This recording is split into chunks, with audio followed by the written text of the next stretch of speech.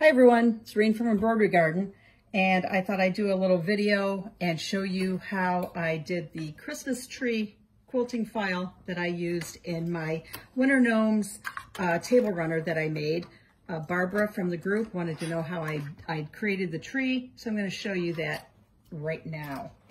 So I downloaded a free, royalty-free uh, Christmas tree SVG file that I found online. I printed it out and I went over it with a marker, a fine line Sharpie, because it was kind of light when I um, did it. I'm going to do this on my Luminaire in my design center.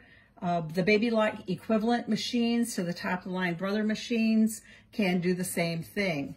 So after I have my tree printed out, I'm going to put it onto the scanning frame that comes with the machine going to use a couple of magnets to hold it in place. And then I'm going to put it on the machine.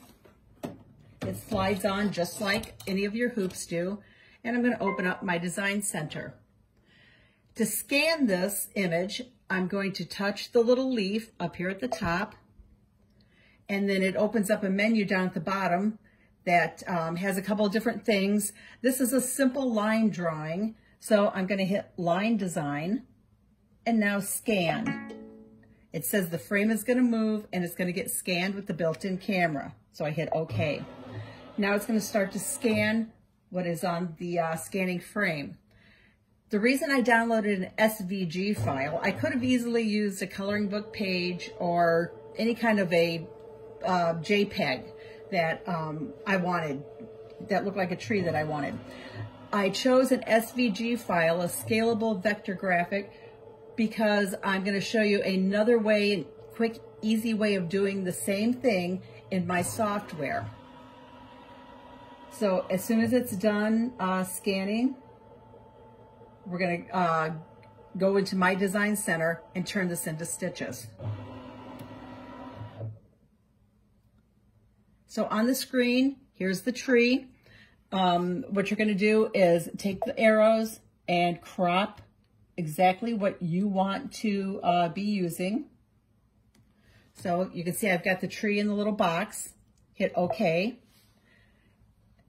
It, oops, I got something right there. I don't want that in there. So um, what I'm going to do is, that's okay. I'm just going to leave that there for now. Hit set. Now we are in my design center. Now, since I have that little edge of the magnet in there, I need to erase that first thing. So I'm going to hit the eraser.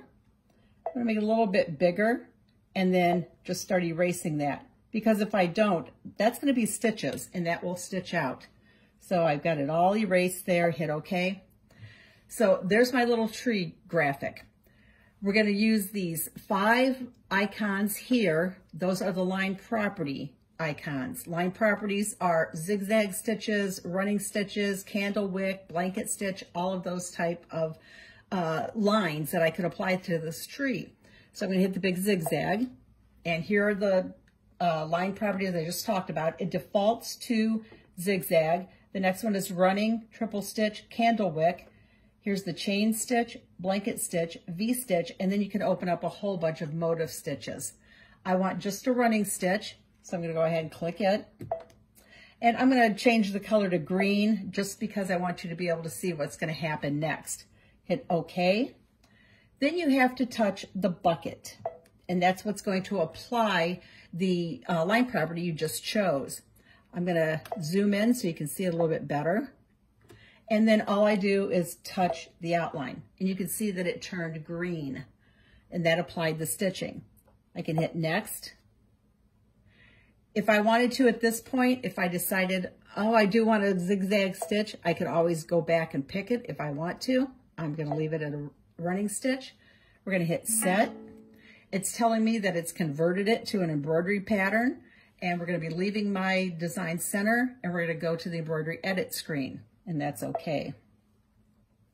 So right now I could go into edit and I could change the size if I wanted to, make it any size I want. I sized it to um, fit into the rectangle on my table runner. And all you'd have to do is hit OK, embroidery, and you can stitch it out. how I stitched my tree on my table runner. I stitched it in a silver metallic thread and I used my dime magnetic hoops. I still have to get my bindings sewn on, but I had my top and bottom magnetic hoop and I used my projector over there and I lined up the tree where I wanted to stitch it and I stitched it. So that's how easy it is to do it on the machine. Another way you could do it, and the way that I actually did it on my, um, for my runner, was I opened up my software and I use PE Design.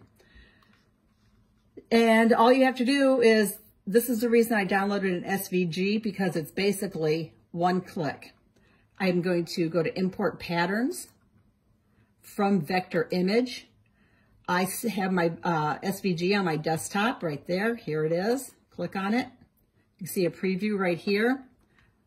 Open it. And it basically has already turned it into stitches. I could save it. I could uh, go up here and send it to my machine and stitch it out. I could also go up here to the shapes button and let's see if I wanted to, I could turn it into a zigzag. I could turn it into a candlewick stitch. I can change anything I want. I kept it as a running stitch. And again, I could do file, save as, save it as a PES file, or I could take this right from the screen and go to the home screen and send it to my Luminaire. So that's how easy it is to create a simple quilting file. Um, I hope that this helped you. I hope that this helped Barb. And thanks for watching.